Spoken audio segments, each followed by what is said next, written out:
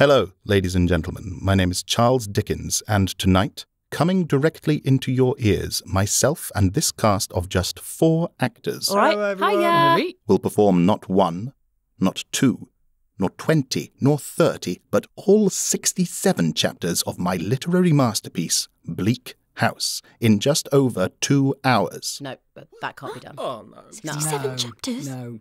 I'm calling my agent. There will be murder. There will be romance. Mm. There will be tragedy. And there will be fog. Fog. Chapter 1 in Chancery, London. Get your generic London noises here. Fog everywhere. Hobbs. Fog. Cockney boy sells newspapers. Fog. Mind the crap. Fog. There's lots and lots and lots of fog. In fact, it's something of a smog.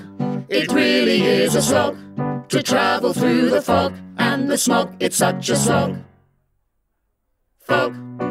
Fog up the river where it flows among green aits and meadows. Fog down the river where it rolls defiled among the tiers of shipping and the waterside pollutions of a great and dirty city.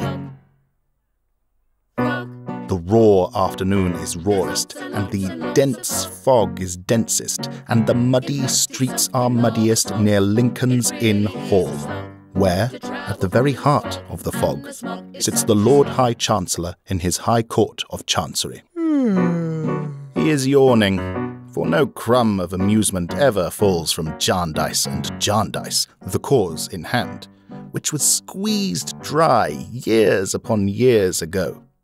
No man alive knows what it means.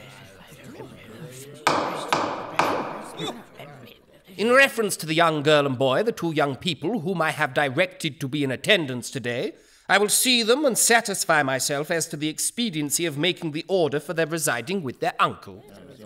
Beg Lordship's pardon. Their uncle's dead. Ah with their grandfather then? The Lordship's pardon. Old Tom Jarndyce blew his brains out too. Oh, uh, with their cousin then. I will mention the matter tomorrow morning when I take my seat.